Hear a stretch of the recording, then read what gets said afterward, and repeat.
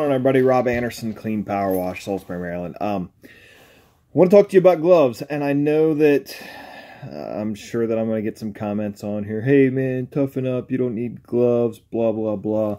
Um let's see if I can fix this up light here. Uh, let's try whatever. Um so i'm out working in a shop right now and even when we're not in the shop when we're out doing work um, because I'm I'm a big proponent for having gloves. Um, and, and the big reason why is that if you've ever worn gloves, every single time that they cut them get cut or get torn is a time that your skin probably would have been gashed or nicked up, started bleeding. And I don't know about you guys, but between the bleach, between the different soaps, between all the dirt and grime and let's just say less than sanitary water a lot of time that we're dealing with.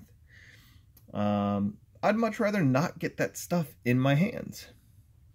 Um, so I want to show you a couple different gloves and whatnot. Um, these are the wrong kind of gloves. These are the cheap gloves from Sam's Club. I thought that that's where I bought my last set. Um, these ones you've probably seen the Venom gloves, and I'll have to sorry, let's go like that. Venom, there we go. Um, these are decent.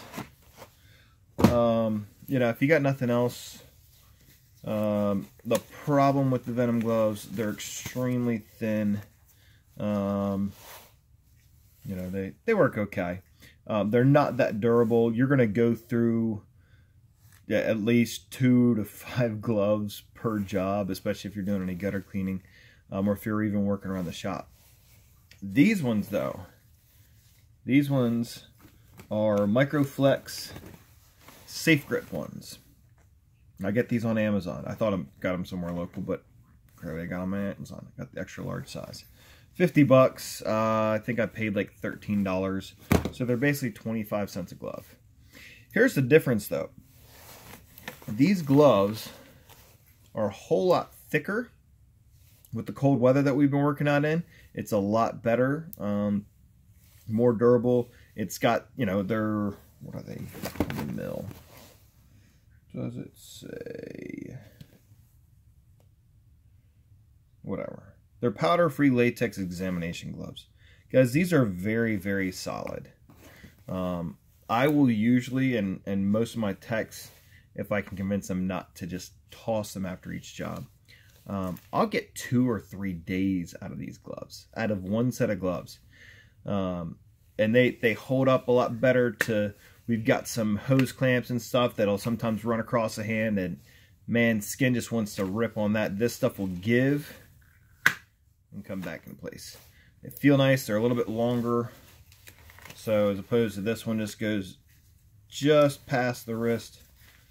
Um, these ones actually you're really truly, if you're wearing long sleeve shirts, um, they'll get you inside there. Versus these ones are still going to leave that, you know, gap. Um, and, and again, I, I know somebody's going to dog me about wearing gloves. I like it. Um, I think it's a lot wiser to wear some gloves. Um, you're handling chemicals all day.